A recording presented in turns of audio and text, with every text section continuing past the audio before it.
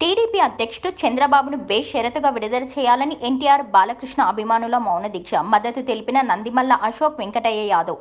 వనపర్తి జిల్లా తెలుగుదేశం పార్టీ కార్యాలయంలో ఎన్టీఆర్ విగ్రహం ముందు అభిమానులు మౌన దీక్ష చేపట్టారు.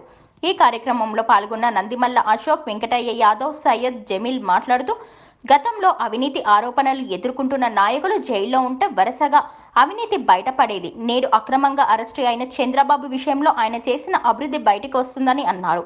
చంద్రబాబు అరెస్టు పట్ల ప్రపంచవ్యాప్తంగా ఉన్న తెలుగువారు స్పందించి ఎందరికో తన విజన్ ద్వారా జీవనోపాధి కల్పించిన చంద్రబాబును విడుదల చేయాలని కోరుతున్నారంటే అది చంద్రబాబు సత్తా అని అన్నారు. ఎప్పటికైనా సైకో జగన్మోహన్ రెడ్డి ప్రజలకు క్షమాపణ చెప్పి చంద్రబాబును విడుదల చేయాలని డిమాండ్ చేశారు. జర్నలిస్టులు అదేవిధంగా వ్యాపార వర్గాలు తరస్తులు అందరూ కూడా ఇవాళ చంద్రబాబు నాయుడు గారు చేస్తున్నటువంటి అభివృద్ధిని ఇవాళ వెలుగులోకి తీసుకొస్తా ఉన్నారు. ఇవాళ ప్రపంచవ్యాప్తంగా ఎక్కడ చూసినా యూకేలో కానీ అమెరికాలో కానీ టొరంటోలో కానీ జర్మనీలో కానీ అక్కడ స్థిరపడినటువంటి తెలుగువారు అదేవిధంగా ఏ పార్టీలకు సంబంధం లేని వ్యక్తులు కూడా ఇవాళ నారా చంద్రబాబు నాయుడు విడుదల చేయాలని డిమాండ్ చేస్తా ఉన్నారు.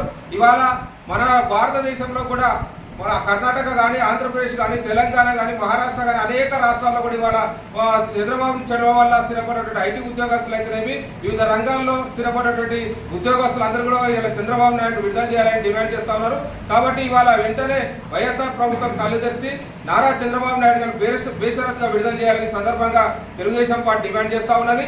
ఇవాళ ఏ ఇవాళ ప్రజా సంక్షేమాన్ని దృష్టిలో పెట్టుకొని తన జీవితాన్ని నలభై ఏళ్ళు సర్వం దారబోసిన జాతీయ నాయకుడు నారా చంద్రబాబు నాయుడు గారిని అక్రమంగా జైల్లో పెట్టడాన్ని నిరసిస్తూ ఇవాళ మహిళలు కూడా ఇవాళ పెద్ద ఎత్తున రోడ్ల మీదకి రావడం జరిగింది. ఇవాళ తెలంగాణ ప్రభుత్వం కూడా వాళ్ళలో ఉన్నటువంటి కొంతమంది వ్యక్తులు ఇవాళ ఆంధ్ర ఓటర్లను ఆకర్షించుకోవడానికి కేవలం కేవలం మద్దతు తెలుపుతున్నట్టు నటిస్తా ఉన్నారు. వాళ్ళు మనస్ఫూర్తిగా ఇవాళ మద్దతు ఇచ్చి ఉద్యమంలో పాల్గొనాలని టీఆర్ఎస్ నాయకులకు కూడా మేము తెలియజేస్తా ఉన్నాం.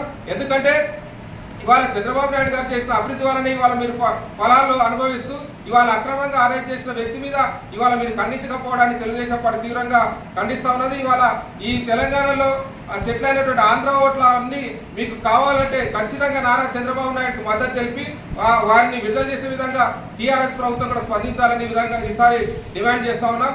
నలభై సంవత్సరాలు మచ్చలేని నాయకుడిగా ఉన్నటువంటి నారా చంద్రబాబు నాయుడు అక్రమంగా నిర్బంధించడానికి మేము ఖండిస్తూ ఇవాళ జిల్లా పార్టీ కార్యాలయం మౌన దీక్ష చేయడానికి దేశం దీనికి సహకరించిన పార్టీ వర్గాలకు ఫ్యాన్స్ నాయకులకు అందరికీ కూడా కృతజ్ఞతలు తెలియజేస్తున్నాం.